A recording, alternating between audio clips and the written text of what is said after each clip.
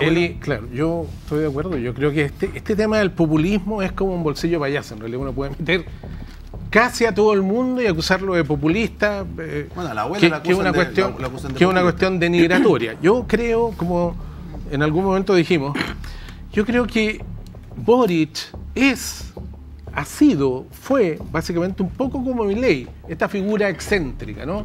Decíamos el otro día, Boric con la camiseta con la cara de Jaime Guzmán asesinado, acribillado. Nos vamos a bajar los sueldos. Boric rockero, Boric manejando una moto sin licencia de conducir de su polola, Boric viajando a Israel y después pegándose una escala en París y que lo, lo, cachan, se sabe, está con, eh, con Palma Salamanca, etc.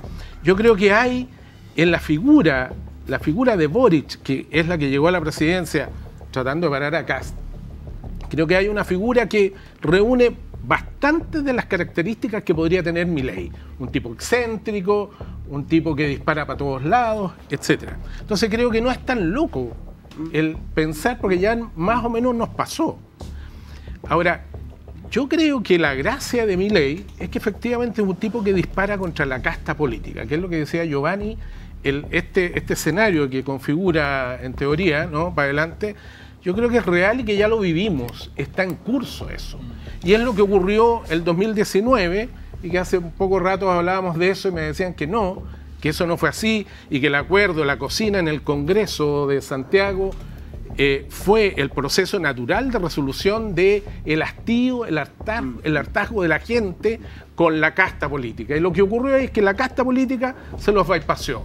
Creo que eso va a seguir, como dice Giovanni, va a tener expresiones y a mí no me aterra para nada que sea un Milei o no Milei. Yo creo que ya hemos vivido esa experiencia y creo que tenemos todo el derecho a elegir a seres humanos que no correspondan a la casta política y no hay ningún pecado, no se pone en juego la democracia, no se arriesga el futuro del país, me parece en absoluto. Yo diría, calma.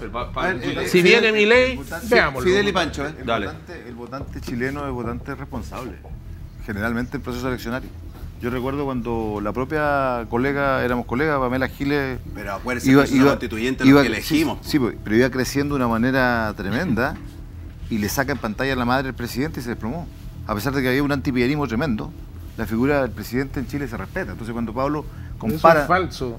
No, no le sacó la madre. No, tienes que escuchar cometes un error, bueno, cometes un error, escucha, ve el audio, ve el video, escucha el audio y volvemos a hablar, porque eso es falso. Te escuché, te escuché con mucho, con mucho respeto. Claro, pero esto es una eh, falsedad.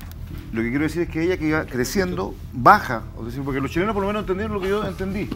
Ella nunca fue, otra falsedad, ella nunca fue candidata lo que a quiero, nada. Lo que quiero, no, no nunca se, pero ella nunca se propuso. Pero no te, no, no te molestes si lo estoy criticando a ti. No es cierto. Ya, pero Felipe, algo quiero, quiero terminar. Es que estamos en presencia de una realidad paralela de Pablo la, su señora no fue candidata nunca nada, nunca agredió a nadie y el, y el 18 de octubre no pasó nada en este país y el 15 de noviembre se pusieron de acuerdo esos cuatro gatos, cuando en realidad le dieron una salida institucional, porque a diferencia de probablemente de él y lo que él representa, yo por lo menos nunca habría votado por Piñera, pero no estoy disponible para sacar por la ventana un presidente de la República. Yo, yo tampoco estoy disponible como parlamentario. Y es una diferencia estructural que tenemos y es súper legítima. Felipe, la ventana, una institución de la Constitución, como la acusación constitucional, sería una ventana, o sea, la, la constitución vale hongo.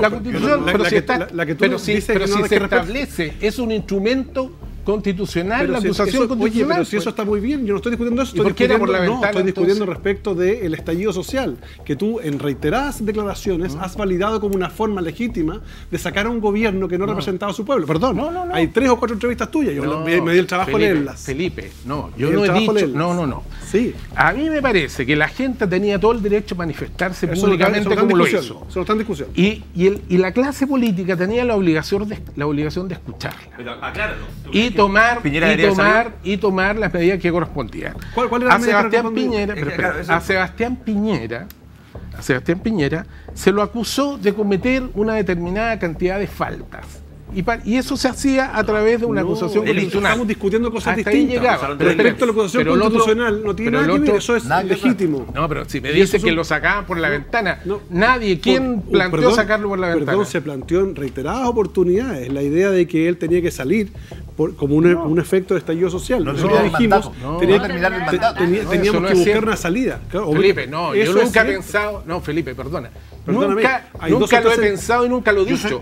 lo que yo pienso es que lo que correspondía era que si habían faltas graves a la Constitución, hay infracciones cometidas por Piñera, había que acusarlo constitucionalmente y se resolvía en el Parlamento como constitucionalmente corresponde, y eso es lo que ocurrió. Bueno, pero eso es otro proceso. No hay, no hay ninguna ventana estoy hablando del proceso del estallido, que lo que buscaba, como decía, era que no se terminara el mandato, que hay que desestabilizar la democracia. Perdóname, yo estaba ese día, 15 de noviembre, junto a Fidel y muchos otros en el Congreso, no una cocina, era un verdadero reality, porque estaban todos los medios de comunicación, y había un grupo de gente encabezados por la gente del Partido Comunista, Carol Cariola, Camila Vallejo y muchos otros, incluyendo a tu pareja, diciendo desde afuera que no era legítimo lo que estaba ocurriendo Falso, viste, viste un fantasma, porque Pamela Giles jamás estuvo afuera al Congreso. Eso no, es cierto.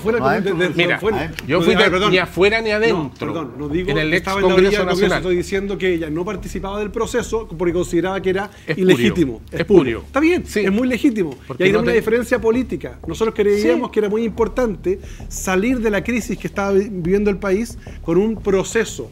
Ahora, si el proceso fue exitoso o no, ese es otro tema, pero salimos de esa crisis. Ahora, vamos, a tener, vamos a tener que hacernos cargo de las demandas de fondo, Felipe, que tienen que ver con los temas sociales. Sí. Felipe, yo creo que es falso. Yo creo que nunca salimos de la crisis, ya que estamos sobrellevando esta crisis en las peores condiciones posibles. Ahora, fíjate que en el Congreso en Valparaíso, particularmente en tu oficina, se reunieron diputados y senadores para buscarle una salida a qué? al problema de la gente, a la demanda colectiva instalada en la calle, frente al abuso, frente a la irritación de la gente, o para salvar los muebles, por un lado, resolver, y, pero perdóname Felipe, la gente, tal como te dije antes, no pedía una nueva constitución, eso no fue nunca una demanda popular. Y la salida, el ofrecimiento que ustedes hicieron fue ese. la lista del pueblo, y no se ha resuelto. La, izquierda, las listas de espera, no, las listas de espera continúan. Ah, pero eso, el déficit estamos muy de acuerdo. Estamos muy de acuerdo. Pero lo que la gente reclamaba era eso. Bueno, estupendo, pero no era una constitución. Se puede caminar y mascar chica a la vez. Nuestro rol en ese minuto era dar la salida institucional. Quiero que Fidel termine. Ya. diciendo, primero que Pablo no tiene la verdad absoluta, porque se cometieron desde, desde ese sector errores garrafales que nos llevaron a la derrota la embriaguez electoral de quienes ganaron con el 80-20 creyeron que le iban a trasladar al proceso. Entonces hay una responsabilidad directa ahí de los constituyentes, que yo siempre aquí le he dicho en el programa. Pero comparar, disculpa Pablo, comparar al presidente Boris, con quien he tenido diferencias puras, con su gobierno, no con él en particular, pero compararlo con mi ley en Argentina es simplemente un despropósito. El presidente Boric no es ni un fanático, no es ni un loco, tuvo opiniones divergentes que las ha ido cambiando sin lugar a dudas, porque en la política también tú puedes modificar tu pensamiento. Yo he modificado muchas cosas en mi pensamiento en 10, 15 años último. El presidente también. Y lo ha hecho para bien. Independiente. no, pero mi ley está dinamitando. Mire, él ganó una primaria, con esto termino. Mi ley ganó una primaria y cree que ganó la presidencia. Porque está dándose los lujos que quiere. Está haciendo los mismos errores que cometió Jado aquí cuando iba primero en la encuesta y se hundió. Mi ley le va a pasar exactamente lo mismo, porque los argentinos de una u otra manera no van a elegir un loco, un fanático. A ver, muchachos, eh, voy, eh, voy a mis menciones y después bajo con ustedes, Pancho Rego, la Eli, quieren decir algo para ir cerrando. Uy, esto también